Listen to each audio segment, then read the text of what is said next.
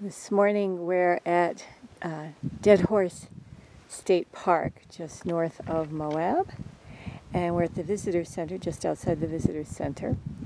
So I think I'm getting that chimney rock is that lone rock that looks like a chimney.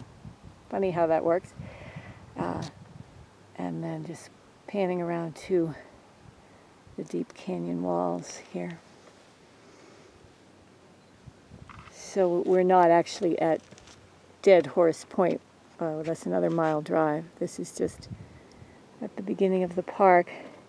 We were reading inside about how how this was all formed, and in fact, uh, all of this land out here, the, what they call the Colorado Plateau of Utah and Arizona, I guess, was in fact under the ocean at one time, and then the oceans receded, and um, and then also uh, the land was pushed up through uh, underground activities, pushing it up higher.